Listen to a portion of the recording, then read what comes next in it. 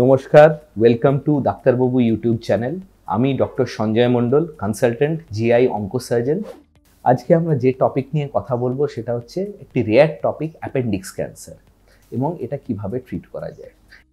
এটা খুব common topic নয় এবং কমনলি দেখা যায় না এবং একটু রেয়ারের দিকে। কিন্তু এটা আমরা দেখেছি পেশেন্টদের মধ্যে হতে। এটা কীভাবে প্রেজেন্টেশন হয়? পেশেন্টরা অনেক সময় পেটে ব্যথা অথবা পেটের মধ্যে কোনো একটা লাম্প সোয়েলিং নিয়ে প্রেজেন্ট করে। এবং সেটা যদি ডাক্তার এক্সামিন করে বুঝতে পারে যে এটা একটা লাম্প আছে ডান দিকে, তলপেটের দিকে, তাহলে এটার জন্য টেস্ট করে তখন বোঝা যায় যে এটা কোলন থেকে অ্যারাইজ করছে। সবসময় যে এটা অ্যাপেন্ডিক্সেরই ক্যান্সার শুরুতে বোঝা যায় না, কিন্তু বোঝা যায় যে এটা একটা টিউমার কোলনের পাশ থেকে অ্যারাইজ করছে, ডান দিকের কোলন যেটা আমরা সিকাম বলি, ওখান থেকে অ্যারাইজ করছে।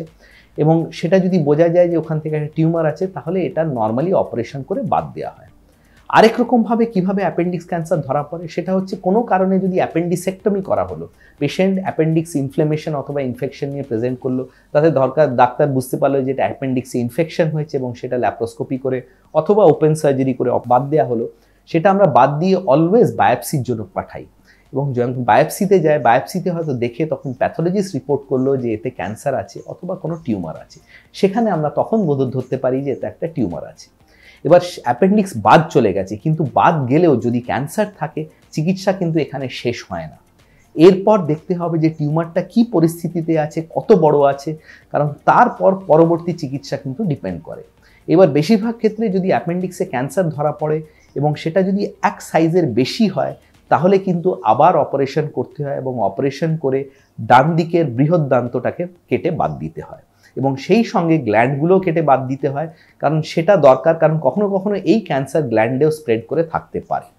সেই জন্য এটা ভেরি ইম্পর্টেন্ট যে যদি ক্যান্সার অ্যাপেন্ডিক্সে আবার ধরা পড়ে, তাহলে দ্বিতীয়বার আরেকবার অপারেশন করার অবশ্যই দরকার।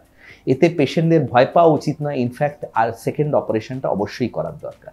সেকেন্ড অপারেশনটা করে এই যে স্পেসিমেন এটা আবার প্যাথোলজিতে পাঠানো হয় এবং ওটা আবার প্যাথোলজিতে যেচে দেখানো হয় কি কোনো গ্ল্যান্ডে স্প্রেড আছে কিনা? সেখানে যদি গ্ল্যান্ডে স্প্রেড থাকে, তাহলে পরবর্তীকালে হয়তো কেমোথেরাপিরও দরকার হতে পারে। আরেকটা যেটা অ্যাপেন্ডিক্স ক্যান্সারে অনেক সময় দেয়া হয়, যেখানে স্লো গ্রোয়িং অ্যাপেন্ডিসিয়াল ক্যান্সার হয়, সেগুলোতে আমরা একটা দ্বিতীয়বার অপারেশন করে একটা হাইপেক নামক পদ্ধতিতে অপারেশন করা হয়। সেখানে পেটের অনেক কিছুই বাদ দিয়ে সেখানে পেটের ভেতর অপারেশনের টাইমেই একটা কেমোথেরাপি দিয়ে ওয়াশ করা হয়। এতে কি হয়, পরবর্তীকালে দ্বিতীয়বার আবার ক্যান্সারটা ফেরত আসার প্রবণতাটা অনেক কমে যায়। এবং পেশেন্টের আগের লাইফস্টাইলটা অনেক নর্মালে চলে আসতে পারবে। আজকের মতো এই পর্যন্তই। আপনারা যদি এই বিষয়ে আরও কোনো তথ্য জানতে চান, তাহলে ডাক্তারবাবু ইউটিউব চ্যানেলে সাবস্ক্রাইব করবেন এবং যদি আমার সঙ্গে ডাইরেক্টলি কন্ট্যাক্ট করতে চান, তাহলে লিঙ্ক বক্সে ফোন নাম্বারটা দেওয়া থাকবে। ডাইরেক্ট কন্ট্যাক্ট করতে পারেন। আপনারা সবাই ভালো থাকবেন, সুস্থ থাকবেন। নমস্কার।